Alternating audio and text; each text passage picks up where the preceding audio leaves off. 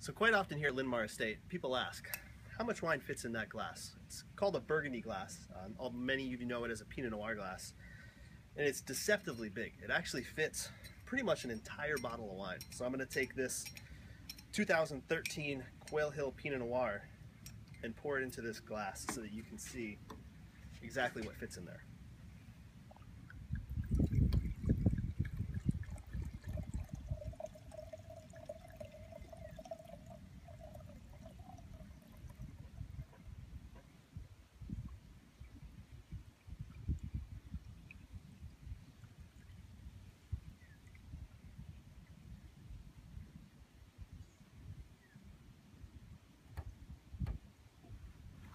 And there it is. When the doctor says have one glass, there's your glass.